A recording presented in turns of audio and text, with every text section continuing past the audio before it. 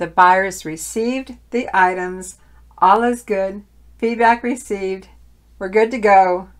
Time to release this video on the greatest find I've ever found on the largest sale I've ever had on eBay.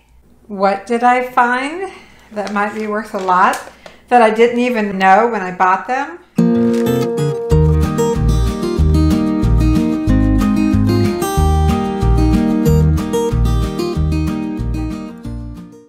Hi everyone, I'm Vickie with Avante Avenue. Welcome to my channel. Boy, do I have a story to tell you. And it's a once in a lifetime story, something that I am a hundred thousand percent positive will never happen again. This video is about the largest sale that I've ever had on eBay. And I'm going to tell you the whole story behind it. So find a comfy chair, get your favorite beverage, because I'm going to tell you a story. The whole story, nothing but the story, in great detail. It was an ordinary Saturday of sourcing, and I found two things that turned out to be the highest sale that I've ever had on eBay. I'm going to take you back to that Saturday and share with you a little bit of the shopping that day, and then I'll be back to tell you more of the story. Good morning. Hi everyone. I'm Vickie with Avante Avenue. Welcome to my channel. It's Saturday and Mark and I are going sourcing two neighborhood sales in Gray, Tennessee. We might have been to one of them before, but I have to get out of the house. I spent all week listing. Mark did the photography and I did the listing and the packing and the shipping and I just got to get out. So come with me on this Saturday. Let's go sourcing, see if we can find some things to resell on eBay. Let's get started.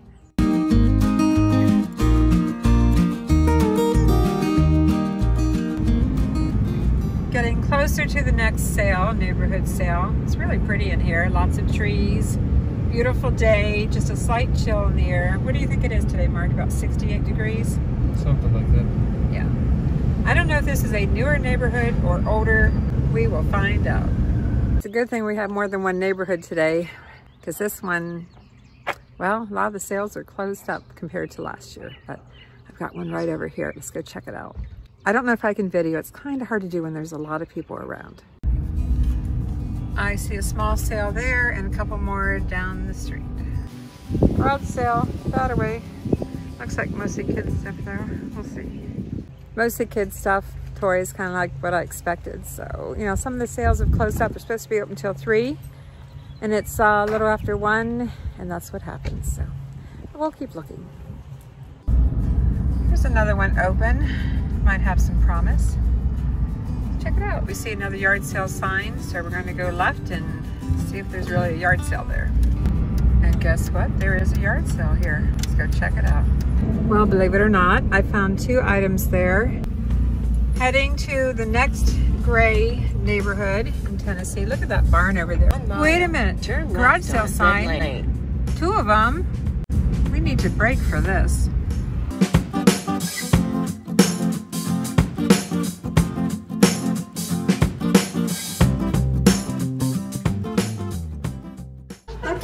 Salt and pepper shakers. Aren't these crazy? Crazy cute. All of me, but can't do it.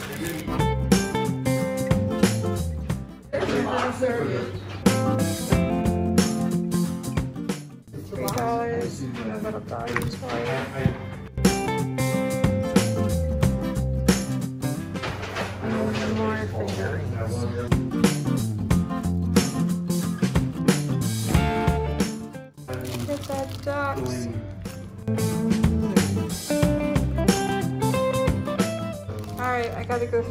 Through this stack. Right, right. Do you see what I see? I see little figurines. All kinds of cool stuff at this garage sale. Mm. And I have a whole bunch of them. cool. We spent $60 at that last sale. Yes, we did. Salt and pepper shakers, small figurines, a lot of Japan pieces, and some other things that I have to show you that I'm not going to tell you right now what we got. Disclosure. For the sake of privacy, I'm not disclosing the address and I'm not disclosing her real name. I will refer to her as Kay. I'll call her Kay. And through our chatting back and forth at the garage sale as I was picking out things, I learned, we learned, Mark and I learned, that her basement was set up with tables full of items from an estate sale that she had had many years prior, an estate sale from the last of her mom's items. Her mom and dad were dealers, vintage and antique dealers. And so, since they had a business and her mom had moved in with her, she inherited a lot of things. And she had had an estate sale, her own estate sale, in her home, in her basement, and she never took it down. She just left everything up.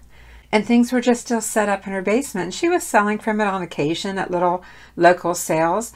But throughout our chatting, throughout our conversation at the garage sale, as I said, this was mentioned. And I asked, could we see it? And she said, Sure. So her friend that was helping her at the garage sale took us downstairs, and we only had five minutes, barely five minutes. Her friend took us down. There are big sheets of plastic all over the tables, and she's uncovering them. And we're like ping pong balls, ping, ping, ping, ping, ping, trying to see everything as fast as we could. And as soon as we were past the table, she was covering it back up again. So we got really, I think, five minutes, five minutes to take a sneak peek. It was just a tease. Anyway, we went back upstairs to the garage sale, and, and Kay said, Did you find anything? I said, Kind of interested in those green jadeite bowls that you have. How much would you like for them? She thought about it for a minute, and then she said, Oh, wait, I'll tell you that later in the video, how much I paid for them. Before we left the garage sale, we exchanged phone numbers. Kay invited us back for a future garage sale, and she invited us back for a private appointment to look at the things when we had more time. But back to our day of Saturday sourcing. This is the first thing that I bought today, the stack of Homco Syroco, you know, hard plastic little kitchen plaques. We have mushrooms and corn and a red pepper tomatoes, celery, asparagus, and, and why they put a lobster with this, I have no idea. I paid $3 and they sold for $14.95. So, do you sell pottery? It's not a crock. Trust me, it will sell. Even though there's no markings on the bottom, these are silver plated candle holders. Which one do you think was free? The vintage iron with the red enamel or the pie iron with red enamel. My dear husband Mark found this deer at a garage sale. Here's another little simple item. It, and I did see on the back that it says made in Germany, but I don't know if you'll be able to make that out. Utensil holder. Pretty simple, pretty plain. I know that simple sells for good profit. I say it and I believe it. And I think my sales prove it. And here are the finds from Kay's garage sale. Fisher Price little Snoopy pool toy. It was made in 1965. How do I know that? Because the information is right here, made in USA. Do you ever pick up baskets to resell? I have one basket that is signed and one is not signed. But they're both obviously handmade and you can see how gorgeous they are. They're in excellent condition. Paid only $1 each. I have a whole bag of small fragile items to show you. So give me a minute here. I'll do some fast forwarding and I'll set it all up and show you what I've got.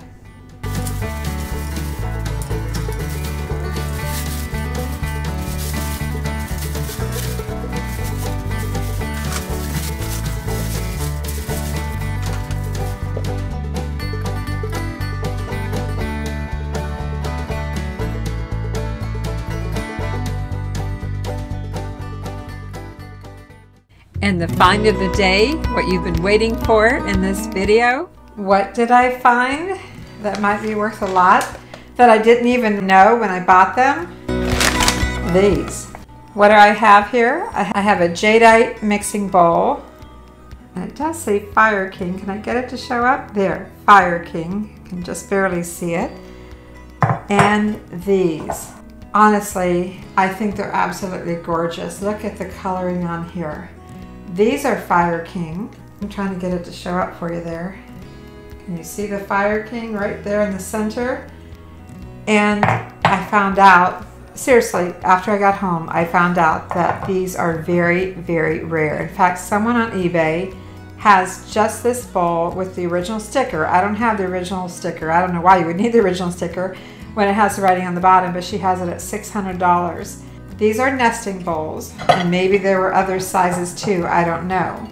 eBay only has the one that's listed for $600. So I'm not quite sure what to do with these. I don't know if I should list them on auction or buy it now. Not really sure. But did I tell you what I paid for these? I paid $20 for all three pieces. I asked her what she would like for them. She said $20 and I said yes. This Fire King Jadeite piece is a batter bowl and it'll probably get listed for around $59.95. And I'm just not sure yet on these. Could be several hundred dollars. Have you ever seen this before with the red flowers? Let me know. Leave a comment. Definitely the find of the day, or the week, or the month. Hmm. Should we go back and look at the rest of her things? Wow. Who wouldn't, right? What an opportunity a private appointment to look at everything she still has for sale. Now, mind you, she already had an estate sale, so people have gone through it already, so all the good stuff could be gone. But then I buy things that other people don't. So that really didn't worry me too much. What I was really concerned about is that I would want to buy everything, and I most certainly don't have room for everything, and I'm sure I could not afford everything. And so that was my real concern. I mean, I had a nervous stomach over this you know, should I call her or not? Several days went by and I picked up the phone and I called Kay. And I said, Kay, we would like to make an appointment to come see you. You know, is Wednesday good for you? She said, sure, come on down.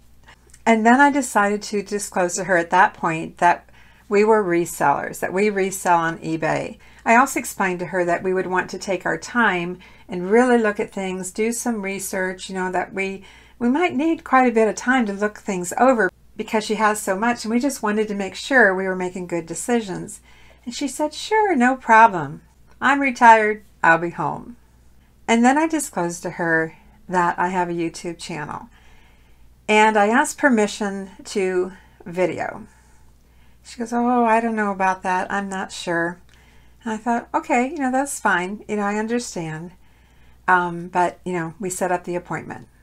Ironically, a few days later, we went to a sale, and Kay and her friend were set up at the sale selling some things from her basement.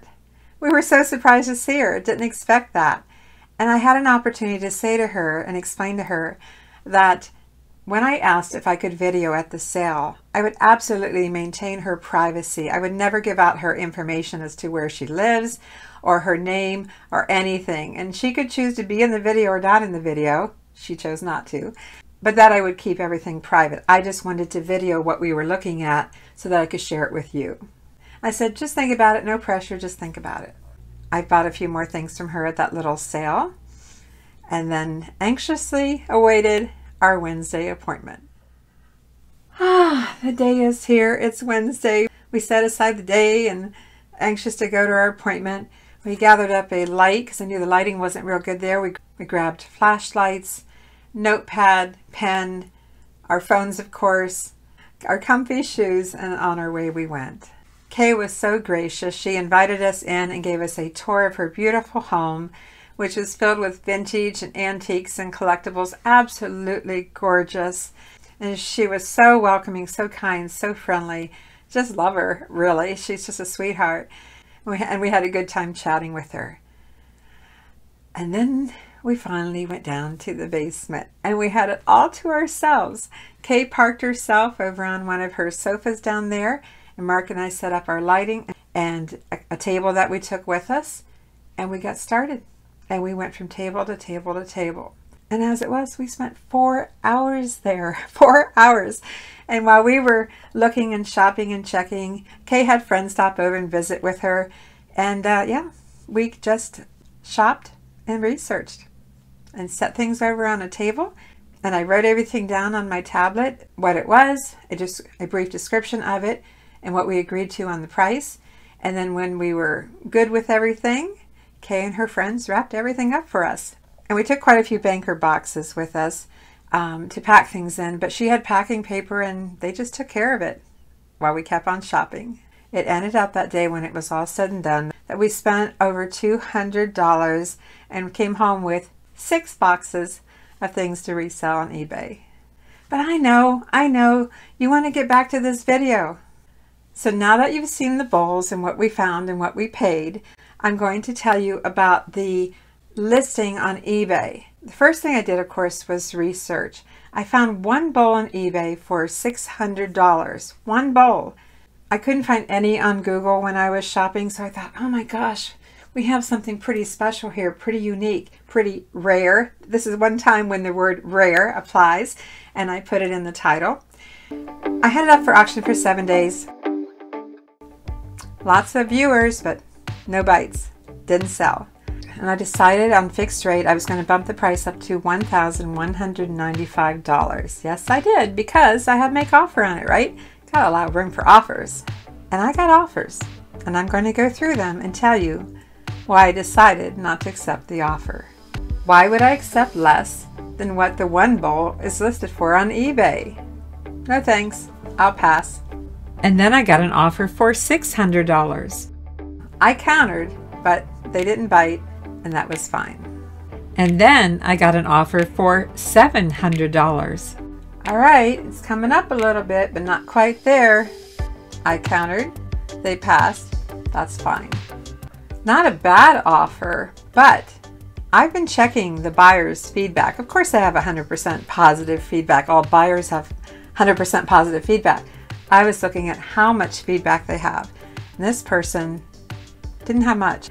I think 26 or 28 feedback, and they never left a single feedback for anyone they bought from. I told myself, not my buyer. And that's what I do sometimes. I am not afraid to say, this person is not my buyer. I'm going to hold out. I'm going to wait. And that's what I did. Whew, $800. $800. We're kind of talking now, right? $800. How do you turn down $800 for something that you paid $15 for? Well, you know, there's fees, eBay fees, fees on the item, fees on sales tax fee, fees on the shipping. Nope, I countered. I countered at 1,000. That's what I want for these bowls, 1,000. They came up to 900. Not bad, right? It's almost my 1,000. Not bad. But I decided to counter again. Yes, I did, at 1,000. And they declined my counter. I'm like, what? Surely they want these bowls, right? Why would they decline? Why didn't they counter back? At least at 950, why didn't they counter back? So you know what I did? I ran to my laptop practically ran to it, and I decided to send out an offer to the 28 people watching these Jadeite Fire King bowls. And I sent an offer, knowing that this person would probably get it too, that just declined my counter. I sent an offer of $999.95 with fingers crossed. Within about 10 minutes, we got a counter offer for $950. My first thought was, is it the same buyer that just declined my counter of 1000 Ran to the computer again, took a look, and yes, it was the same buyer. She came back at $950. All right, I think I found my buyer finally. I have this rare two-piece lot of Fire King Jadeite bowls that I've been showing you here in this video. I've been holding out for $1,000, and although I did not reach $1,000, this buyer that I've been going back and forth with for the last hour, who declined my offer of 1,000, has now come back at $950. Do you think I should take it? Should yes! Mark says yes. I'm going to shake the phone. All right, let me find my cursor and make sure I'm not going to counter offer it. I'm not going to decline it. I'm going to take it. I'm going to pay fees out of this, you know. It's going to cost a pretty penny. I'm going to accept the offer. Love that sound. Mark got it on his phone here. My bowls sold for $950. Woohoo! My biggest sale ever. Oh, it disappeared. My largest sale ever on eBay. Woohoo! Woo! Definitely the find of the day or the week or the month. For those who are interested, keep watching. Let's pack these $950 bowls. I'll show you how I did it. It's time to get the bowls packed carefully. Get them to the post office. I'm adding insurance. And am I nervous? Of course I am. They're $950 bowls. I did prep my boxes to save some time, but I'll show you how I'm going to pack these so they'll arrive safely. I also am adding a note on the outside of the box that says, let the package come to room temperature before opening. Those sudden temperature changes of hot to cold, you know, sitting out on a hot porch to the air conditioning can cause things to break and vice versa, wintertime to the heat. So I've been adding a label to my packages that include glass or ceramic items, and you might want to do that too. But let me show you how I'm going to pack them sold for $950 plus shipping plus sales tax came to $1,025.55 minus fees. of course, what a great sale. Going to be using two eBay boxes that are 8 by 8 by 8, one for each bowl. And I've cut them down. You can see here, I've cut this one down to about five and a half inches high and this one, which I've already assembled, has been cut down to six inches high. I'm going to be double boxing, but actually it's going to take three boxes. Each bowl is going in its own box, then I'm putting those two boxes into another box. I'm going to pack the larger bowl first. And I can tell you, it's barely going to make it. There's not a lot of room for packing material. I might even turn it upside down. But the first thing I want to do is protect the finish. For that I'm going to start with some tissue paper. I'm also going to add a layer of packing paper, tucking this inside. And you can see I still have a hollow area here. I need to fill that in. And I'm going to use some bubble wrap. You can see it's taking about three pieces. And then I need to bubble wrap the entire bowl. Let's see if two pieces will reach. Yes, it will. As I typically do, I'm going to cross-lay the bubble wrap. And I'm using masking tape from my fancy dispenser. You can find all my regular packing supplies in the description below this video. When you purchase from those links, it helps out my channel. And thank you for that. I'm hoping this fits back into the box after I've added all this bulk. We'll find out, won't we? Let's check it right now. Yes, I'm going to be able to make it in there. I'm going to keep adding some tape. And I think I'm going to try turning it upside down in here. This is why. If, if I turn it upright, I can't really pack more material around the um, narrow area here. If I turn it upside down, I can pack more material. So let's see. Is it going to fit? Yes, it does. Fits good. I'm going to put a thank you label inside here. Run these 30 up on a sheet of labels. Just says thank you. Shop again soon. Avante Avenue. Let's check this flap. Pretty good. I'm going to take another piece of bubble wrap and just cut it into smaller pieces. And this is pretty crappy bubble wrap here. This is not what I'm recommending you buy in my links. This is the old bubble wrap. My new bubble wrap hasn't come in yet. Can't wait. It's due any day, but I didn't make it in time for this. Anyway, I'm going to take these little scraps and tuck them around. Mean, this bowl's not going anywhere. It's not going to move. But I'm still tucking some bubble wrap around the four sides like so. Let's get this taped up have a second dispenser, heavy duty industrial dispenser. And it's the only tape I use and I'm not sponsored, but I do have links down below. That was pretty easy, right? This, this box is six inches high. This is the larger bowl. And this box will be for the smaller bowl. Okay, set this aside. Smaller bowl. I'm gonna miss these bowls on my shelf. And I know the money will be spent again all too fast because that's what resellers do. We reinvest, but it is going in the savings account initially tissue paper, packing paper. Smaller bowl, filled it up a little more. Still adding some bubble wrap. Pieces of bubble wrap one direction, two pieces the other direction. Same thing. Going to fold it up.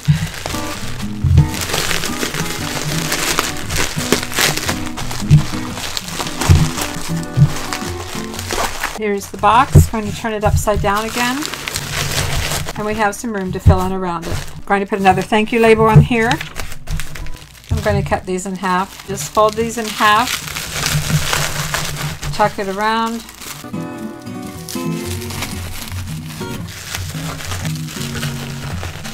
And another piece on top because there's room. It's not going anywhere.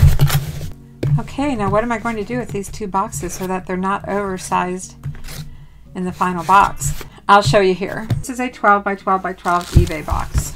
I've lined the bottom with a couple of pieces of bubble wrap. I allowed for that when I did my measurements. And you can see I have the perimeter filled with these air pillows. These are also in the description below if you'd like to order these air pillows. I'm putting the larger bowl in first, like so. And then the smaller box. You can see it's just making it. And I'm going to continue filling around with more air pillows.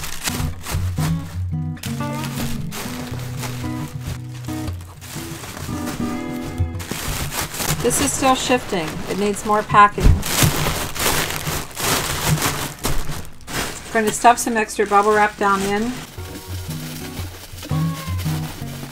Whatever it takes to tighten things up. I don't want to break my air bubbles. That would defeat the purpose. But I want things to not move. That looks pretty good. I know it's a tight fit. Buyer did pay the shipping and I allowed plenty to help cover for this extra weight. It was calculated shipping. It's good to go. Press your tape down. And of course, I always tape the side seam. So we're to add some tape here. And by golly, I think we've got it. And the balls are ready to go. Give them a hug. Love you. Have a safe trip and enjoy your new home. If you'd like, keep watching. There's more to my story. I'm going to share some more thoughts and wrap this up.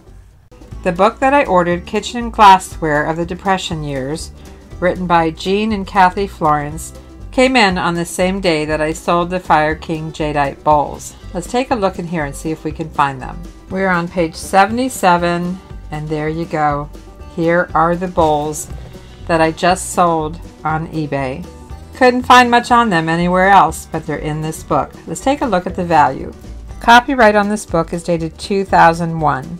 In 2001, this Hocking Jadeite 7.5 inch 2 quart decorated bowl was valued at 300 to $350. And number 5, the smaller bowl, 6.5 inch bowl decorated 1 quart, is valued at 400 to 450. Let's add the two highest values of 350 and 450 and we have a value of $800. Were the bowls worth more than the $950 that I sold them for? I'll never really know, but I am happy with this sale. Who wouldn't be? $15 to 950. Kay really didn't inquire about my YouTube channel. She didn't really inquire about our store name. So I don't know if she'll see this video. But Kay, if you are watching the video, I hope you're not upset with me I hope you will understand that I did not know the value of those bowls when I bought them.